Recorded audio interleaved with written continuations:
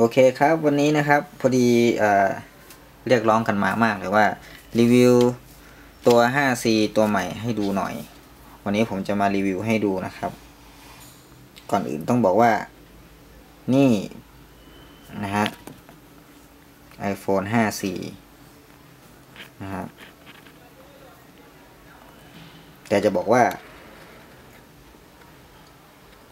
อันนี้เป็นเครื่องโคลนนะครับ เป็น Android 1.2 บางคนถามว่าเหมือนอะไรบ้าง อย่างหนึ่งครับบอดี้ใช้เคสได้นะครับ แล้วก็ทีนี้เรามาลองลองลองมาดูตัวระบบข้างในกันดีกว่าว่า เป็นยังไงบ้างนะฮะก่อนอื่น หน้าจอก็เหมือนนะครับ เหมือนตัว iOS 7มันบอกว่าเป็นธีมมันหรือเปล่า ตัวนี้เป็น System นะครับ ไม่ได้เป็นธีม เพราะว่า เวลาเรากด Setting เนี่ย เห็นไหมครับ ลักษณะจะคล้ายๆกัน อาจจะมีฟังก์ชันเยอะกว่า เพราะ Android มีเยอะกว่า นะฮะ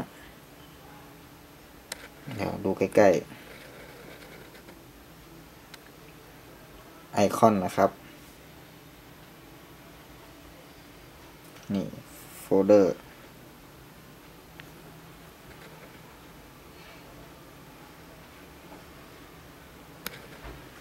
แอปพวกนี้เป็น integrate นะครับ ก็คือจะติดมากับเครื่องอยู่แล้วสำหรับ ROM ตัวใหม่ทางร้านเราอย่างเดียวนะครับ จากที่อื่นนี้เราไม่แน่ใจ เพราะว่าเขาทำยังไงบ้าง ของเรานี่ไม่ได้เป็นธีมต้องโมนะครับ เปิดมาก็จะลักษณะนี้ อาจจะมีการแก้ไขไอคอนนิดๆหน่อยๆนะฮะเพื่อให้สมจริงมากขึ้น ลักษณะการใช้งานโดยมาตรฐานนะครับ หลักๆจะเหมือนกัน โปรแกรมที่ลงก็โหลดจาก Play Store นะครับ ก็คือในนี้ก็จะเป็นไอคอนของ App Store เลย แต่ในนี้ผมไม่ได้ล็อกอินไว้นะครับ สังเกตจะเป็น Google Account นะอันนี้คือเครื่องโคลนนะครับ ไม่ใช่เครื่อง iPhone 5C แต่ว่าข้อดีของตัวนี้ก็คือ 1 เป็น Dual Core นะฮะในของเครื่องโคลนที่ราคาถูกและดีที่สุด เพราะอะไรครับตัวนี้เป็นเร็วกว่า iPhone 5 เครื่องโคลนตัวเดิมนะครับ แล้วก็จอดีกว่าแบตเตอรี่อึดกว่านะครับ 2,500 มิลลิแอม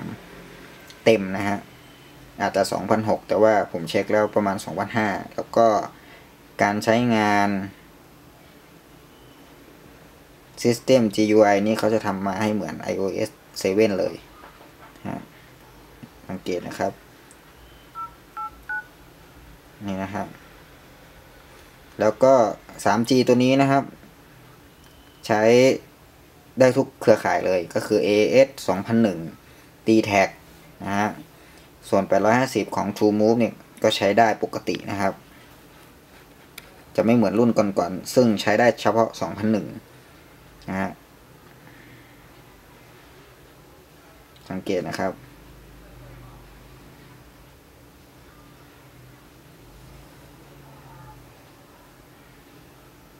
เร็วนะครับ ราคานี้ผมตกใจมากเลยครับสี่พันห้าทำได้ขนาดนี้ ตอนแรกผมนึกว่าเกรดเครื่องหรืออะไรจะแย่กว่านี้ เพราะผมมาใช้ดู โอ้โหครับ ผมบอกตามตรงเลยว่าต้องยกมือให้เลย ตัวนี้นะฮะ ความชัดของกล้องก็อยู่ในประมาณโอเคครับ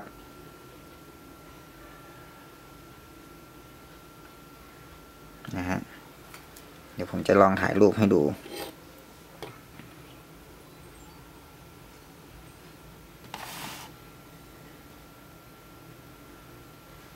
มี auto focus ให้นะครับ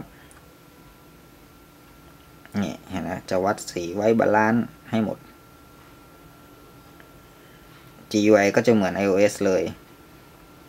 เนี่ยจะถ่ายวิดีโอก็สไลด์โฟโต้พาโนรามานี่ครับ ใช้ได้หมดนะครับเดี๋ยวเราลองใหม่เอาโฟโต้ดูก่อน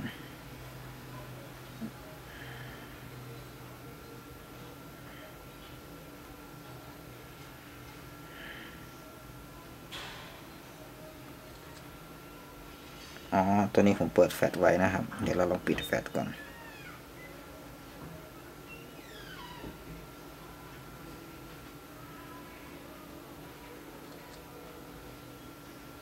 ฮะ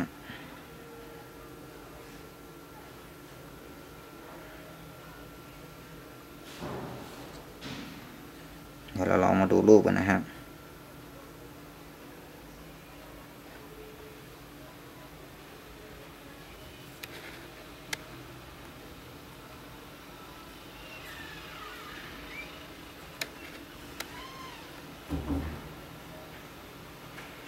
ไม่น่าเกลียดเลยนะครับ ใช้ได้เลยทีเดียว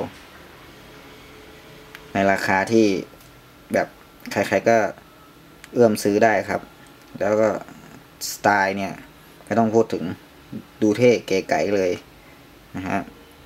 Facebook Line WhatsApp Instagram ครบฮะผมก็ลงเกมมีเกม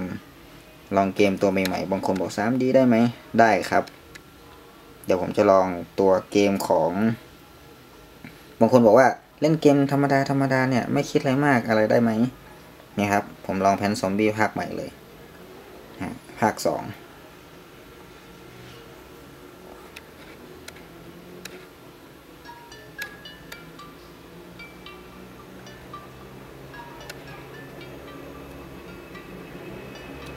ตัวนี้การ์ดจอดีกว่าตัวเดิมนะครับ ตัวนี้มีการ์ดจอแยกนะครับ เป็น Dual Core แต่มีการ์ดจอเพิ่มมา มันก็เลยทำให้การเล่นเกมเนี่ยลื่นขึ้น ถึงแม้แรมจะน้อยนะครับ แต่ว่าการใช้งานโดยมาตรฐานเนี่ย ใช้ได้เลยทีเดียว แล้วก็ราคาไม่สูงเน้นเลยครับ ราคาขนาดนี้พร้อมการ์ดจอ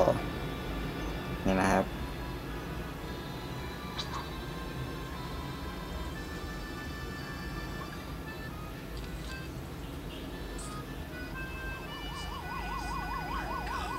ลื่นนะครับ เกมนี้ค่อนข้างจะใช้สเปคสูงหน่อยนะครับ เพราะว่าเป็นภาคใหม่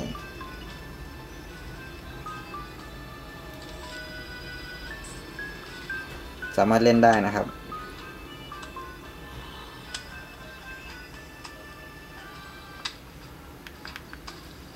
โอเคครับนะการยกเลิกโปรแกรมก็จะเหมือน iOS ก็คือ กดปุ่ม Home สองครั้งนะครับนะแล้วก็สไลด์ลง เดี๋ยวเราลองมาดูสามมิติอย่างเกมนี้เลยครับ Real Boxing กินการ์ดจอมากเลยครับ ควาดคอบางทีถึงกระตุกนะครับ แต่พอดีตัวนี้มีการ์ดจอก็ทำให้เกมตัวพวกนี้ลื่นขึ้นมาปกติจะเล่นไม่ได้อยู่แล้วในตระกูลของ Duo Core นะครับ ถ้าเกมแนวนี้เพราะตัวนี้ต้องใช้การ์ดจอ Nvidia แต่เรามาดูกัน โหลดไม่นานด้วยนะครับ สังเกตนะครับ สีของพื้นผิวนะฮะเงา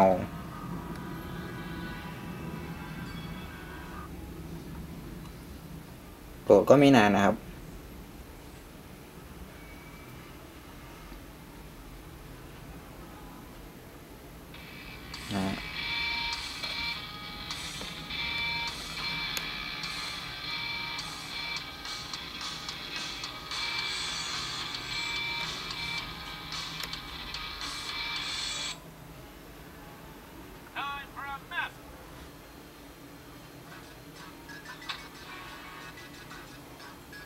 เครื่องตัวนี้ก็จะมี accelerometer นะครับ ที่เอียงเครื่องนะฮะได้ ตัวนี้เป็นสามมิตินะครับแคม 3D แต่ต้องที่ต้องไม่เป็น 3D มากเกินไปนะครับ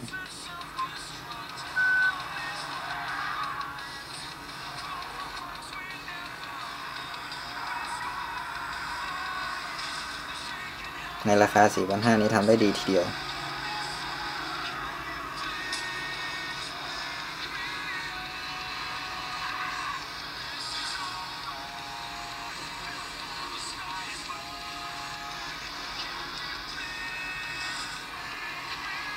เกมนี้เป็นเกมดิฟนะฮะ ผมจะไม่ค่อยถนัดแนวนี้เท่าไหร่ ถ้าเป็นเลนซิ่งธรรมดานี่พอไหวครับ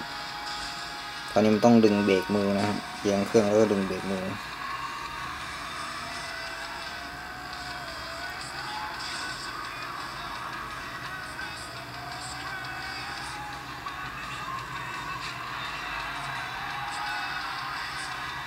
โอเคนะครับ เรามาลองเกมอะ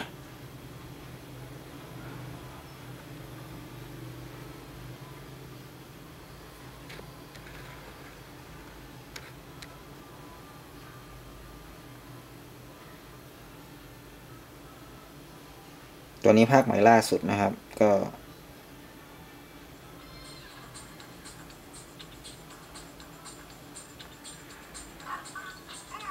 นะครับ ความเร็ว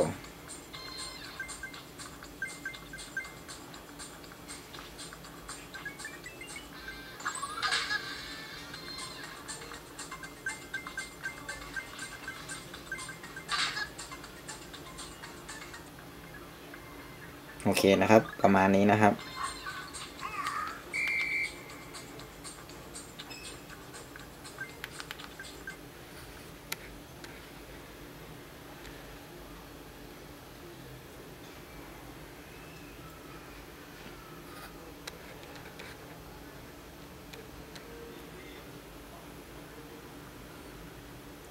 ไลน์ WhatsApp Facebook ปกตินะครับ แต่ตอนนี้ผมไม่ได้ต่ออินเทอร์เน็ตไว้นะฮะใช้ได้นะครับเล่นได้ปกติ ฟังก์ชันทั่วไปนะครับ อย่างเช่นตัวนี้เป็นเข็มทิศดิจิตอลนะครับนะเราเอียงเครื่องมันก็จะเอียงตามนะฮะ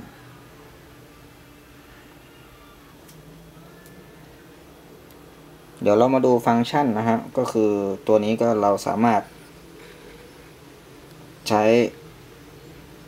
Control Center ได้นะครับ คือเอามือสไลด์จากบนปุ่ม Home ขึ้นมานะครับ ตั้งหมุนเอียงสั่น Wi-Fi Bluetooth นะครับ Data ข้อมูลไฟฉายนะครับ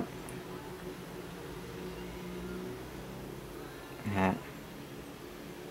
ตั้งสั่นไม่สั่นเสียงเมนูลัดนะฮะไปที่กล้อง เราสามารถเอาคำสั่งต่างๆ ใส่ได้นะครับ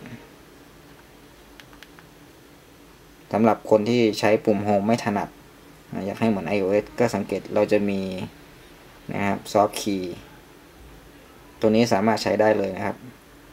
เพราะว่าบางคนที่ใช้ Android เนี่ย มันต้องใช้ 3 ปุ่ม แต่เขารวม 3 ปุ่มมาใส่ในปุ่มตัวเดียวกันก็คือ อย่างเช่น Back ก็กด1ทีนะฮะ ฟังก์ชันกดแช่ไว้นะฮะ ส่วนจะออกไปที่โฮมก็กด 2 ทีอย่างเงี้ยครับ ใช้งานไม่ซับซ้อนเท่าไหร่นะครับ ใช้ได้ Message GUI ก็จะเหมือน iOS 7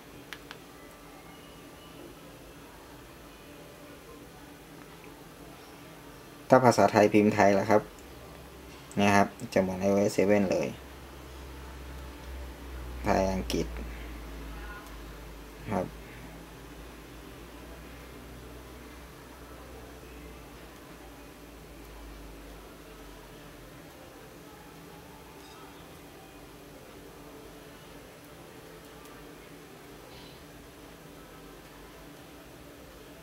โอเคนะครับ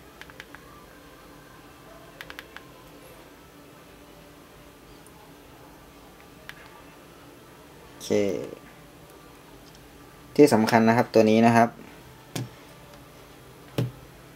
ใช้ที่ชาร์จเหมือนของ iPhone 5 ได้เลย สายแท้นะครับ เดี๋ยวผมจะลองชาร์จดู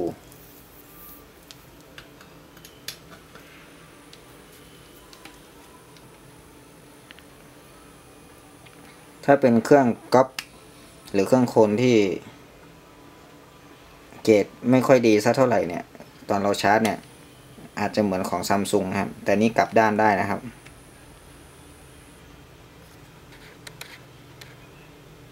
นะฮะชาร์จนะครับ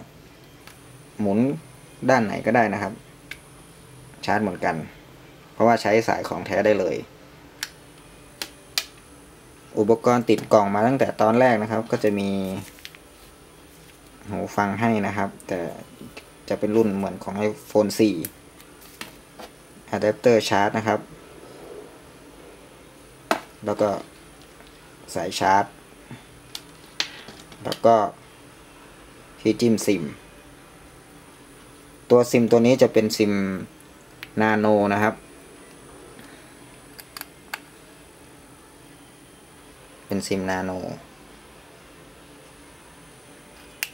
โอเคครับ เดี๋ยวผมจะรีวิวโน้ต8 ต่อจากตัวนี้เลยนะครับ ฟังก์ชันตัวนี้ก็ไม่มีอะไรมากสำหรับคนที่สงสัยนะครับ ก็สอบถามตามลิงก์ข้างล่างนี้ได้เลยนะครับ ก็สินค้าดีราคาประหยัดนะฮะสไตล์น้องโมบายดูรายละเอียดเพิ่มเติมได้ที่แฟนเพจครับ แล้วก็ Facebook นะครับ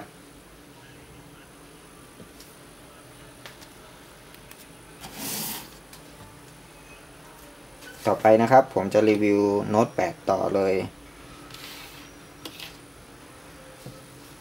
นี่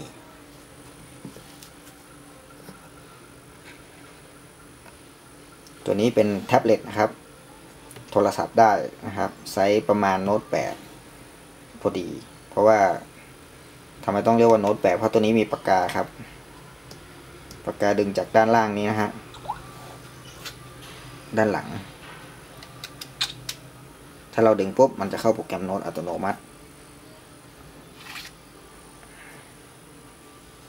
นะครับบางคนบอกว่าใช้ใช้ได้ไหมครับปากกาแตะได้นะครับ ใช้ได้นะครับ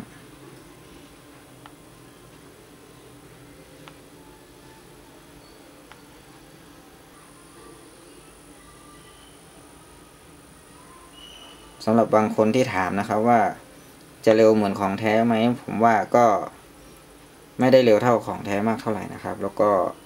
ราคาประมาณนี้ ประมาณตอนนี้นะฮะที่ผมได้มานี่ราคาจะอยู่ที่ 7,500 บาทนะครับ แล้วก็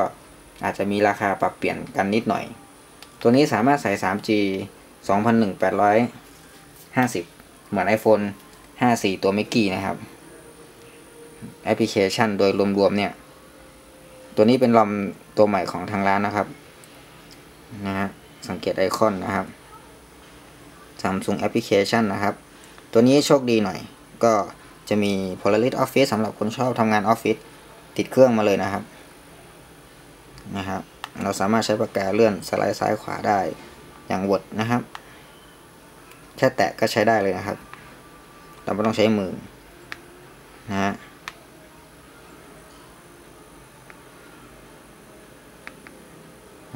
นี่ครับ นะครับแนวตั้งแนวนอนได้นะครับ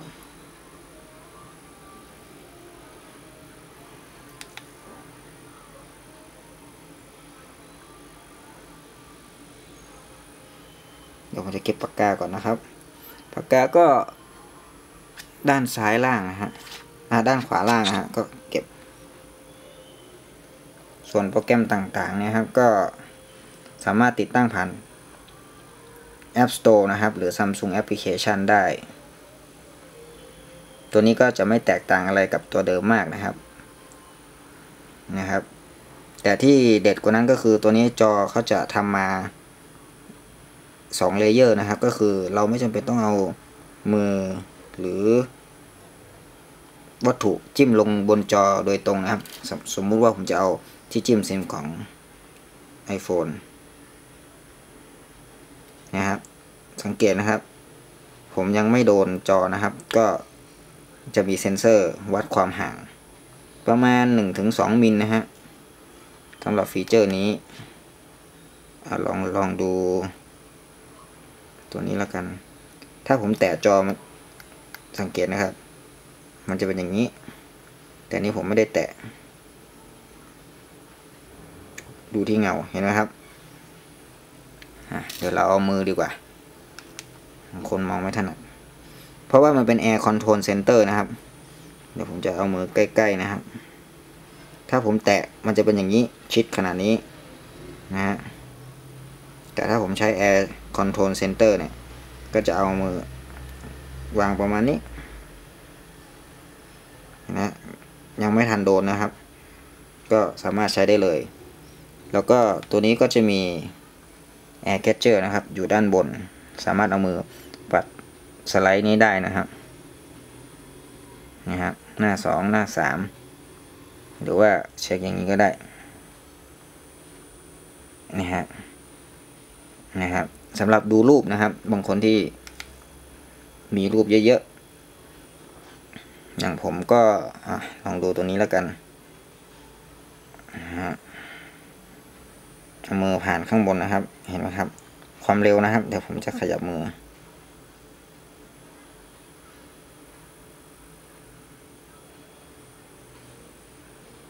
อ๋อ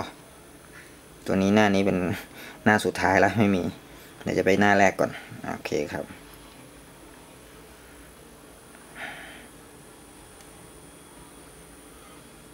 นะฮะการขยับรูปนะฮะ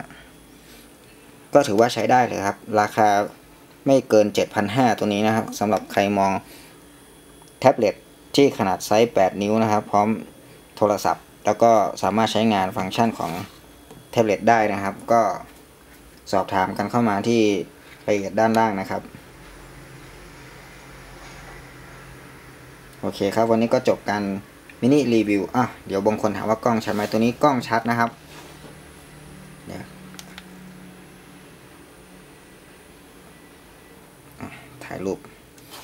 ยืมซีโร่มาถ่ายแล้วกัน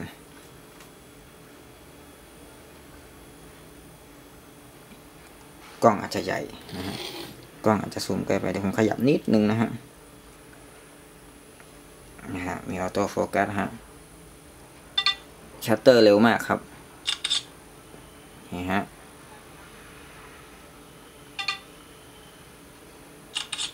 เดี๋ยวเรามาดูรูปกัน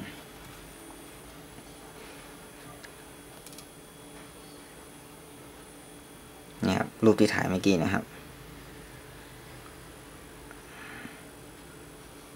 ใช้ได้เลยนะครับ ความชัด